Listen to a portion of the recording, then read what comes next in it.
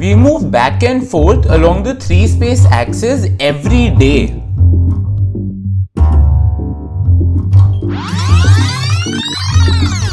Then why can't I move backwards through time and undo that tripping?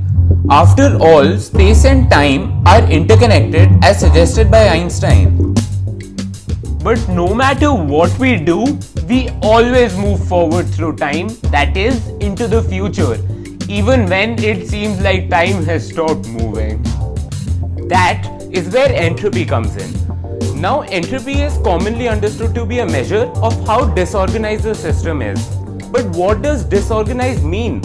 In physics, disorganization is generally a measure of how spread out a system's energy is.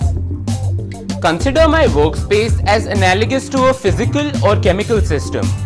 Say every item on my desk represents a part of our system's energy.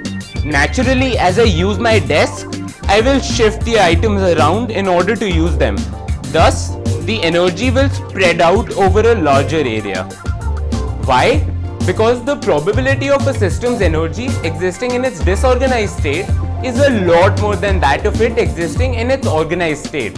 In fact, disorganized states are so high in number that it is statistically impossible to go back to the organized state.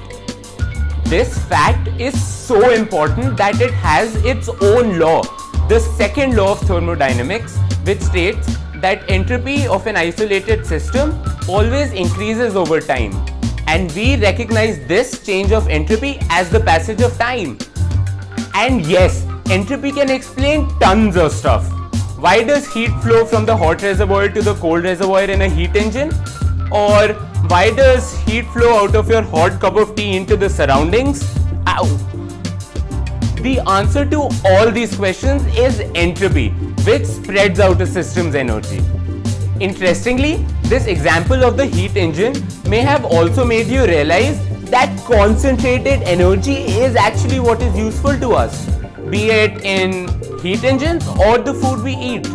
Entropy renders our energy sources useless.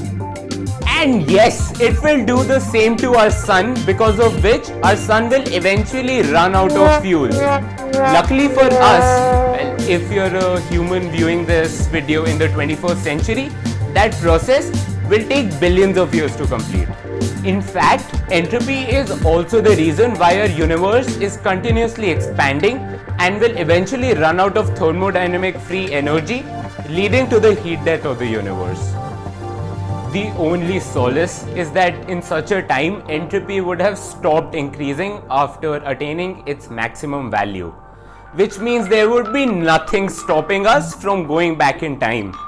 Except you need to wait a gazillion years for that to occur. Till then, don't let entropy eat your lunch.